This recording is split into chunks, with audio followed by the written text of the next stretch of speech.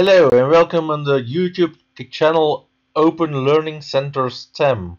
Today I'm going to explain you the program for testing the KA Shield for Arduino.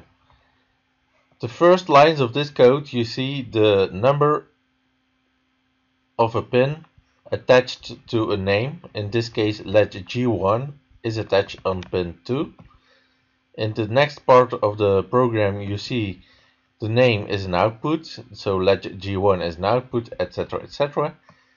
This is a, an important part of the program that you can cut, copy and paste.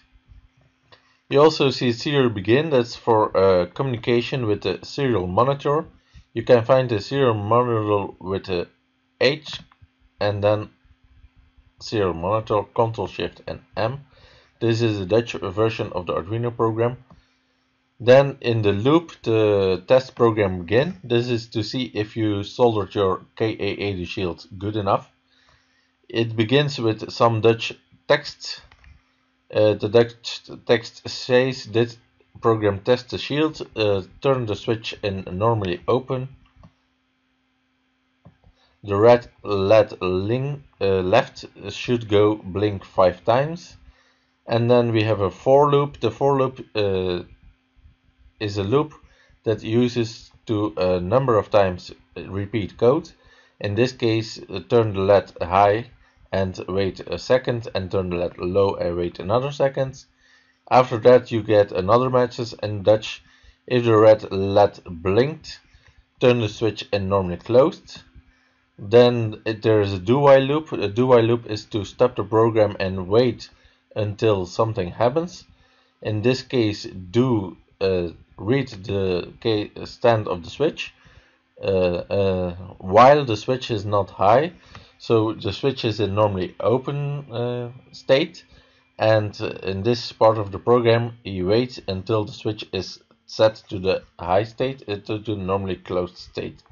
So if you don't do not set the switch on, the program stops at this point. Then you have another Dutch text, uh, the switch is working. Press now on the button and there shall be a LED lit. Uh, test is for the four buttons. If the LED lit and uh, turns off where released, it's okay. Turn the dial on zero of the potentiometer and turn the switch back to normally open if the test is okay this is the part of the program that does that. Uh, do read all the switches and buttons while the switch is in the right state and in this uh, state shall this uh, code repeat and repeat and repeat if the button is high the LED is high and if not the LED is low this for uh, many buttons every button has a LED attached to it so button 1 controls LED O1, O2, button 2 controls LED G2, button 3 controls LED O1, button 4 controls LED G1. And this uh, repeats while the switch is in normally closed state. So if you are happy with the tests, you set the switch in normally open state and the program continues. Then you have some more Dutch text, the push buttons and the LEDs are fine. So we are going to turn the dial to the right. What does the program? He uh, reads the analog value of the potentiometer of the dial and he prints the value on the serial monitor and he does that one times in a second and he does that while the value of the potentiometer of the dial is not equal to 1023 this is the maximum value of the potentiometer, so if the potentiometer, the dial is fully to the right, the value should be 1023 and should the program continue and then you know the dial is okay. You get some more Dutch text, the dial has reached its max value, uh, heat the NTC with your uh, finger in delays 5 seconds, a little bit waiting time for heating up the NTC and then the same happens but not with the full value because then the temperature needs to be high. The, so we chose a value uh, that's close to your body temperature. So do the reading of the NTC, a little delay between the readings, and if the NTC is high enough, uh, above 560, then the LED goes on, the LED that we hadn't tested yet, and the buzzer has given a sound. We are waiting for uh, the NTC to rise a little bit more because we are uh, repeating this part of the code while the NTC value is less than 580.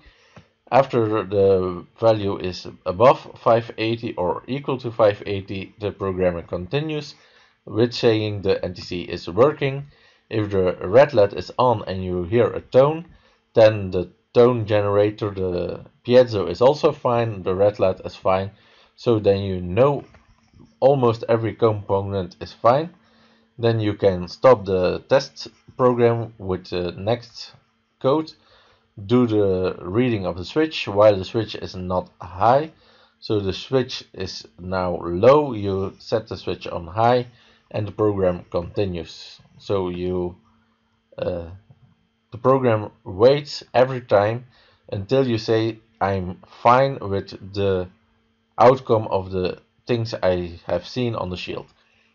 Then the tone is off and the, the LED is also off and after 5 seconds the program restart automatically but if you are happy with everything then it means you're soldered your KA shield.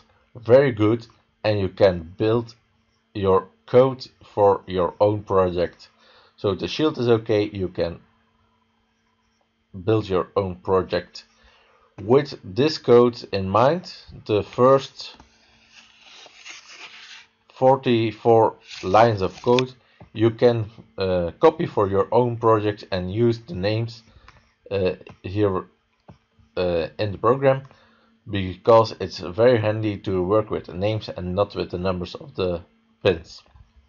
But that's your own decision you must make. So I hope you uh, have understand how this test programming works.